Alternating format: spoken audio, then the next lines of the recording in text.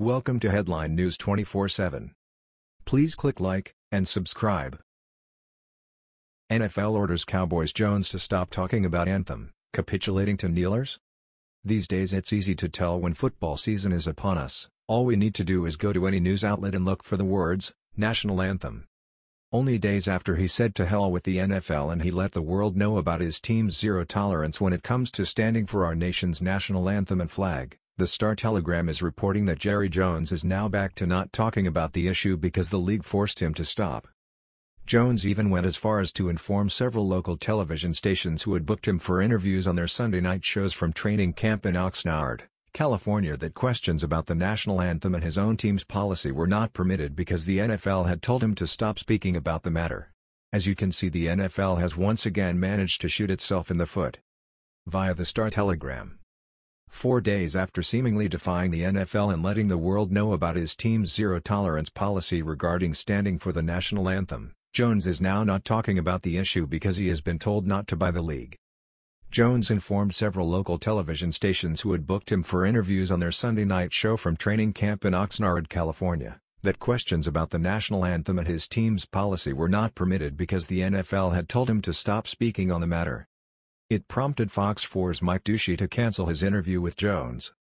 Doocy said he was told by the Cowboys' public relations staff that he could not ask any questions about the national anthem at the last minute. He made the editorial decision to nix the interview. Jones did appear on other local channels but without being asked about the anthem. Jones's sudden adherence to league policy comes less than a week after he separated himself from the NFL with his pronouncement of a team-mandated anthem policy of standing to attention with toes on the line or face the prospect of getting cut. That it came after the league's announcement that it had put its revised policy on hold while negotiating a joint plan with the NFL Players Association certainly raised eyebrows. Several Cowboys, including quarterback Dak Prescott and running back Ezekiel Elliott, have said they had no problem with Jones's anthem stance because they plan to stand as a team. Players across the league have decried the comments while openly questioning how the NFL and NFLPA can have a meaningful negotiation with Jones already deciding on his team's policy.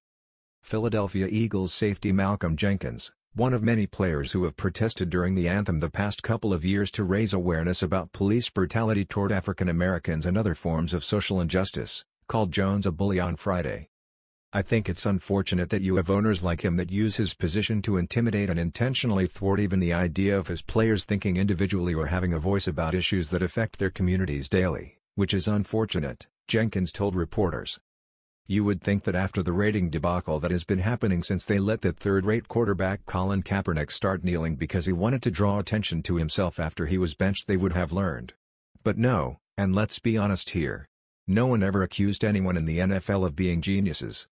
The NFL feels as though they need to squash any talk of disciplinary action against the players who kneel while at the same time they seem to feel it's okay for a player to disrespect our nation.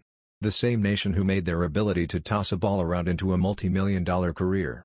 And the fans aren't stupid, they know very well that a player who on average makes over $2 million a year has no business showing disdain for our nation, her anthem, or her flag. Here is more on the NFL's new national anthem policy which apparently might be tweaked to assuage the players. Via ESPN.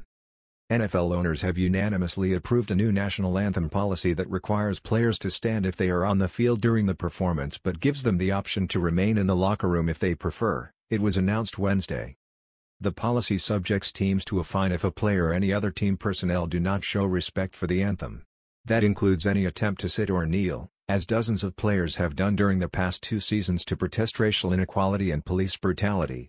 Those teams also will have the option to fine any team personnel, including players, for the infraction.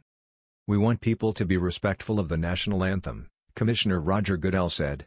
We want people to stand, that's all personnel, and make sure they treat this moment in a respectful fashion.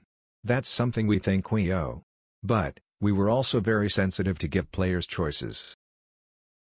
That was the news. We thought you might be interested in knowing about this. Please click like and subscribe. Thank you.